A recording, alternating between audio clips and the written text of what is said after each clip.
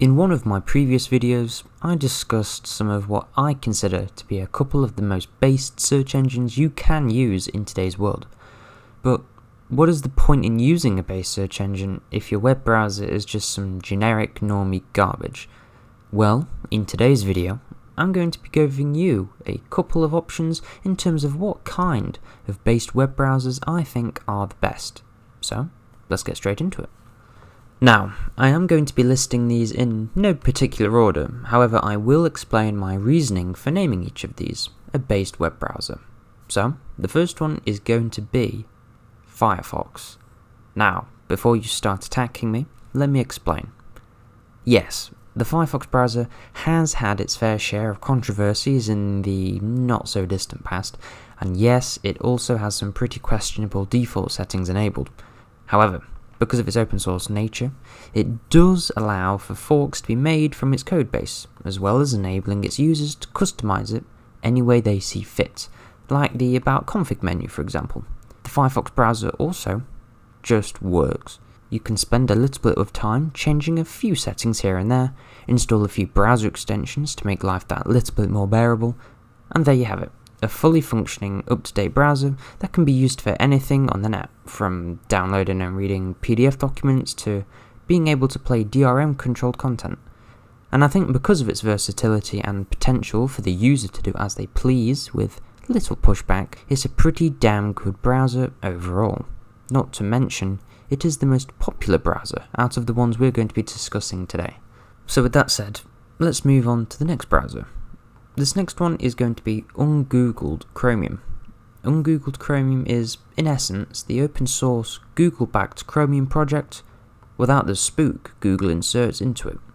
This means that the ungoogled Chromium has the same look and feel as most other Chromium based browsers, Google Chrome for example, without glowing like a Christmas tree. However, there are some drawbacks. For example, this web browser has fewer features than its Chromium counterpart due to the developers of the ungoogled Chromium project removing all Google features and blobs. It also doesn't have immediate access to the default Google Web Store, but has its own version of it, which isn't an issue for the types of people who will be compiling from source while daily driving Gentoo, but for the people who will be downloading a binary exe for their Windows 11 install, will be in for quite a shock. But then again, the people who are using Windows 11 have probably never heard of GitHub and are probably knee deep in the Bing ecosystem anyway. So that's Ungoogled Chromium. It's basically Google Chromium without the Google bit. So let's run over to the next one. The next one is going to be an interesting one, but one I think is worthy of note. The GNU IceCat project.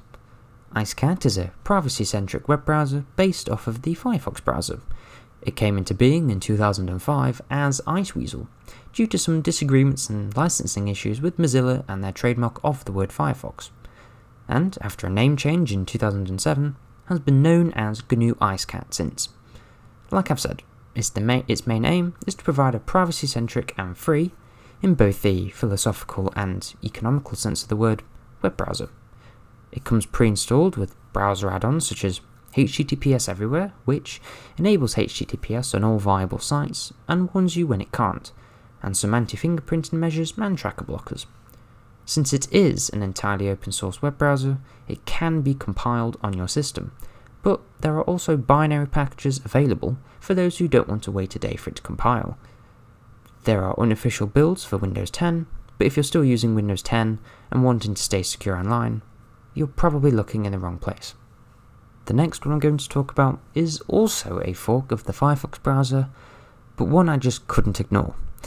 The web browser Pale Moon. Pale Moon has a focus on customizability and privacy. The browser is under the Mozilla Public License 2.0, which is basically a copyleft license by Mozilla for Firefox forks, with a rough mark on what they can and cannot do with the trademark Firefox. The source code for the up-to-date development of Pale Moon isn't exactly publicly available in a repository, and since September of this year, they, have apparently moved to a quote cathedral-style release, where they release tarballs and binary packages for each of the new versions. I'm not sure what they are trying to pull, but it's weird. What's so hard about putting your source code out in the public? Pale Moon was based off Firefox ESR version 24, but has since moved to its own version, scheme and development. Since it is based on quite an old version of Firefox, the look and feel of the browser is quite old and out of date, though it does still see active de development and support from its community, with multiple community driven ports for other operating systems, like the macOS and BSD. Now, the final based web browser before we get into the honourable mentions would have to be Waterfox. Yet another self explanatory Firefox based web browser, Waterfox states its focus is on the balance between usability and privacy. Interestingly enough, the Waterfox web browser was originally built for Windows during 2011, but has since had ported to other operating systems such as Linux and the macOS. As I previously stated, Waterfox is based on Firefox, however it has removed all of the telemetry elements of Firefox as well as Pocket, which is a feature I am sure absolutely everyone would miss. Waterfox does however use Bing as its default search engine, which is pretty weird if you ask me, why not just use DuckDuckGo or SearX? But you win some and you lose some, and it's easy enough to change it. Now, for the honourable mention, which is, of course, the Brave browser. And, in my humble opinion, the Brave browser is not based at all. The thing that pushed me away from using Brave was how much it was shilled online by seemingly everyone. And don't even get me started on BAT.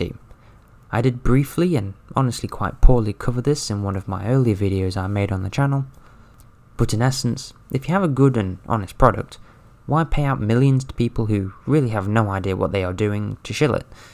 I'll be making another video further explaining everything Brave, like the browser, the crypto, and the search engine, but I'll leave it as it is for now. I'm not the biggest fan of Brave, so don't expect a ultimately unbiased review. To be honest, I hated it the first time I laid my eyes on it. So, that's about all of the web browsers I have used, at least a couple of times in the past, that I consider to at least be somewhat based.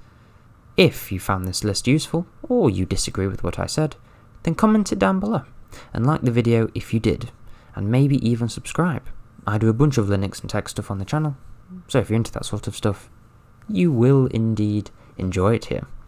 Thank you very much for watching, I hope you like, comment and subscribe, and click that notification bell. Have a good day, everyone. Bye bye.